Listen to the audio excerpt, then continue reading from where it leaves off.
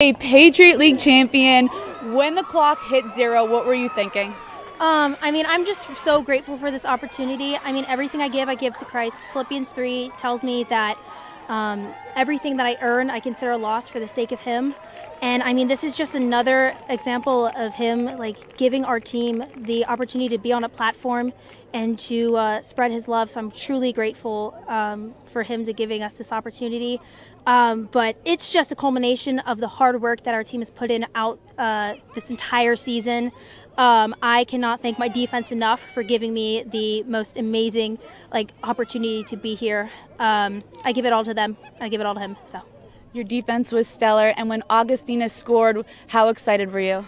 I, I didn't even know who scored. I couldn't tell. Usually, when we have penalty corners, it's just like eight different people like in front of the. I'm like, who? Who is it in? What? um, so I mean, I just heard everyone else cheer, and I was like, that's my that's my opportunity too.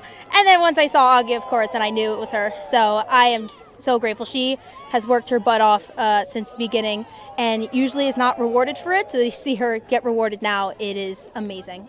You were at the bottom of that dog pile over there. I, I, I need to know. Did you survive? Everything's all good. I made it. I made it. Fortunately, um, uh, like 20 pounds of gear does you pretty well. Um, but I was close. It was close. I was worried for a second. I was worried for a second too. Well, congratulations, congratulations again, and good luck in the NCAA tournament. Thank you, Maria. I appreciate it. Of course. Back to you, Emily.